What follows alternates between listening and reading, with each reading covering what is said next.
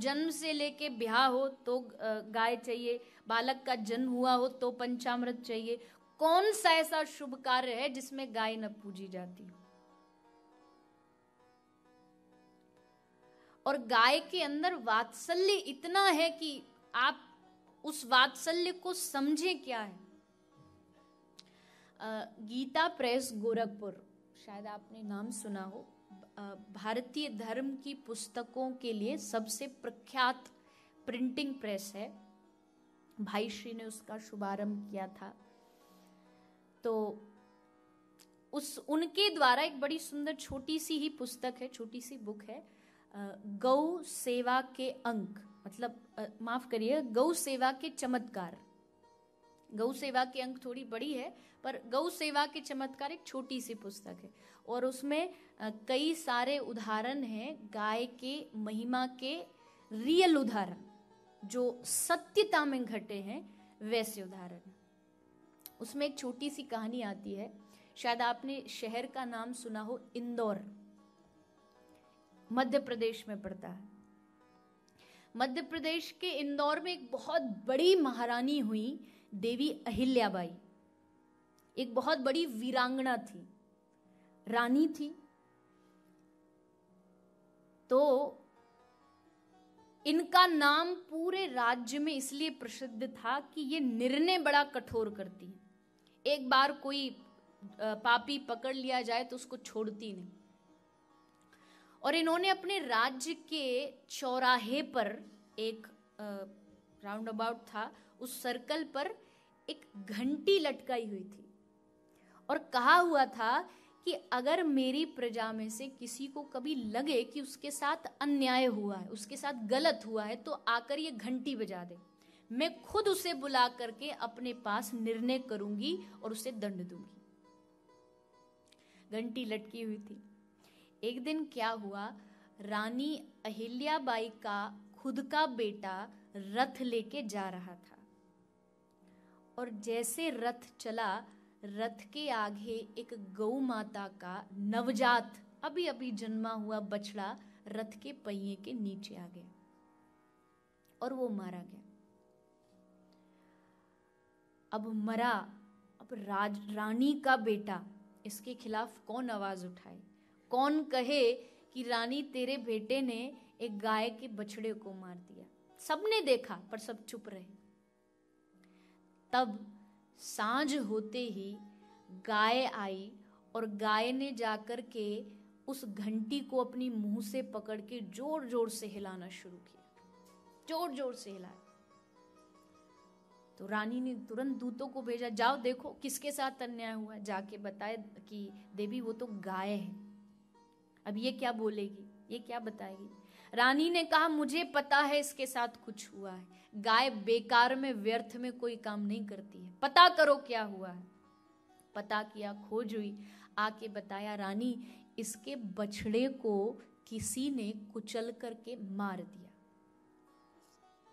बस इतना सुना था रानी ने आगे नहीं सुना, बस इतना ही सुना और आदेश दे दिया। जिसने भी उसको रथ से कुचल के मारा, उसको भी रथ के नीचे कुचलवा के मरवा दो। ये मेरा आदेश। अब दूतों ने कांपते हुए कहा कि, रानी, आप क्या बोल रही हैं? आप जानती हैं वो कौन है? आपका अपना बेटा है। उसने उसने उसके रथ से गाय का बछड़ा मरा। एक पल तो रानी को थोड़ा लगा, क्या करूँ? लेकिन फिर कहा, चाहे मेरा बेटा क्या, मैं स्वयं भी हूँ तो जो दंड मैंने दे दिया, सो दे दिया। जाओ, उसे रथ के नीचे मरवा दो। पूरी प्रजा, ये सच्ची घटना है, पूरी प्रजा इकट्ठी हो गई। रथ लाया गया, राजकुमार को बीच सड़क पर खड़ा किया, रथ आगे बढ़ा, लेकिन जो रथ सवार था एकदम घबरा गया, क्या करूँ? राजकुमार को कैसे मारूं? रथ से कूद गया, महारानी, मेरे बस की बात नहीं, मैं नहीं कर सकता, आपको जिससे कराना करा लो। कोई राज़ी नहीं हुआ तो रानी खुद रथ पर चढ़। गई खुद रानी रथ पर चढ़ी और उसकी लगाम पकड़ के आगे बढ़ी। रथ बढ़ता गया बढ़ता गया। उस राजकुमार के ऊपर चढ़ने ही वाला था कि गाय आकर के रथ के सामने खड़ी हो गई। रथ के सामने खड़ी हो गई। और खड़ी भी कैसे हुई? आ, हिंदी भाषा में कहते एक सीधा खड़ा होना एक आढ़ा खड़ा होना। आढ़ा मतलब टेढ़ा। आढ़ी आकर के खड़ी हो गई। तो जिस स्थान पर वो गाय आढ़ी खड़ी हुई आज भी आप इंदौर चले जाइए। इंदौर में आज भी वो चौराया है और उस चौराहे का और उस मार्केट का नाम ही आढ़ा बाज़ार है। गाय आड़ी खड़ी हुई, इसलिए उस बाज़ार का नाम ही आड़ा बाज़ार रख दिया गया, ताकि लोग इस नाम से जाने कि क्या हुआ था यहाँ पर। तो लोगों ने जाकर के रानी को प्रार्थना की, हे रानी, देखो, गाय ने तुम्हारे बेटे को माफ़ कर दिया है, आप भी माफ़ कर दो। क्योंकि गाय जानती है, मेरा बेटा मरा, मेरा बछड़ा मरा, मुझे कितना दुख हुआ, रानी का मरेगा इसको कितना दुख होगा? इसलिए स्वयं उसकी रक्षा के लिए आगे आके खड़ी हो। ऐसे कितने उदाहरण गौ माता की कृपा के हैं, वात्सल्य के हैं। इसलिए मेरी प्रार्थना है आप सभी से, कृपया गाय को केवल अर्थ से जोड़ के कभी मत देखिएगा। गाय, ध्यान रखना कि गाय से पैसा तो आ सकता है लेकिन अगर धीरे धीरे समय निकल गया तो पैसों से भी गाय नहीं आएगी। जिस कदर आज गोहत्या बढ़ रही है। आपको अगर आंकड़े नहीं पता हो तो भारत वर्ष में आज की डेट में भी पचास हज़ार गौवंश रोज मरता है।